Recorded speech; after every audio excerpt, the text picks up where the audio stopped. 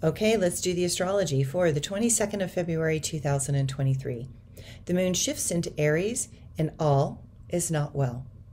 Powerful forces are deciding to bump into each other with Mars and Mercury jousting incessantly. What may happen for some is a powerful new idea becomes the only path ahead and the new way. While some may want to ponder the lint in their navel, know that allowing that distracting discussion will not supplement the requirements currently that are demanding us to take action.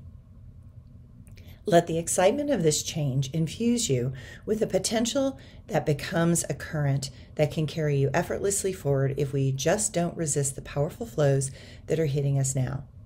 Discoveries lurk just around the corner, and if you listen closely, you will hear the waterfalls in the distance. We are all going off that cliff, so allow that flow to show you the way forward and know that the landing can be soft, but we need to take a deep breath first and hold that intention until we come back up for air.